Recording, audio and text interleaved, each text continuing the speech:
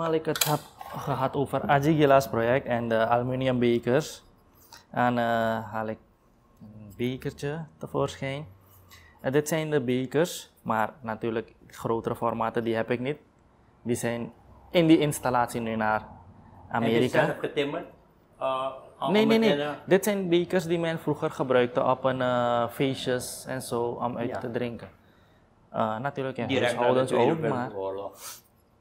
Um, ik ken ze meestal en, of voornamelijk van feestjes. This is another Supreme production. Supreme TV. To entertain, to inform, to inspire.